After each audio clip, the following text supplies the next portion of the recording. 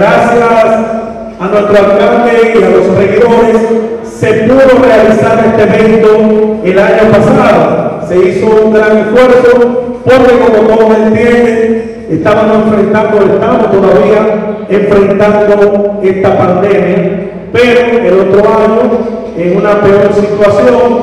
se hizo este reinado para no perder la tradición cultural de este reinado que tiene 107 años. Me siento muy alegre. He venido a compartir la alegría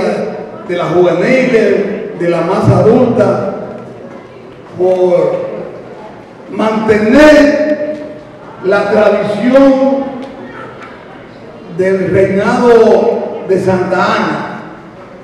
Y me siento muy contento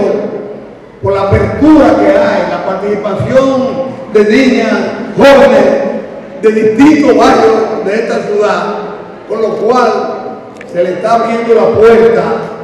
a la juventud para que progrese, que participe, porque de aquí este reinado se ha convertido